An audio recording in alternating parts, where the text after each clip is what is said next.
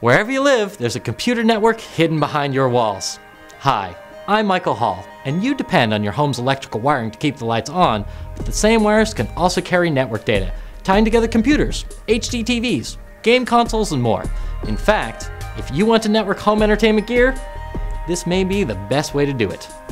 The key is Powerline technology. Powerline is an easy, convenient alternative to snaking Ethernet cables throughout the house, or broadcasting a Wi Fi signal that can be blocked by thick walls or radio interference. Just connect your network router to a Powerline adapter and plug it into a standard power outlet. Then, connect network devices in other rooms to Powerline adapters, or connect multiple devices to a single Powerline switch.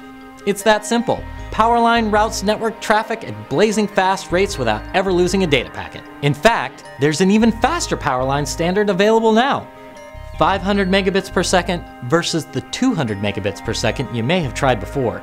The latest generation of Powerline solutions is over twice as fast as before, speedy enough to stream media to multiple HD TVs, Blu-ray drives, and game consoles simultaneously everyone in the household can enjoy their own entertainment without bogging down the network, and setup is as simple as ever.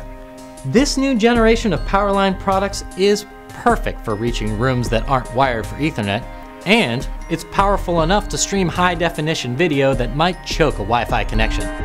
Whether you have an older home, an extra large house, or simply a yearning for the ultimate in networking convenience and performance, Products like D-Link's Powerline 500 series are a worthwhile addition to your home network.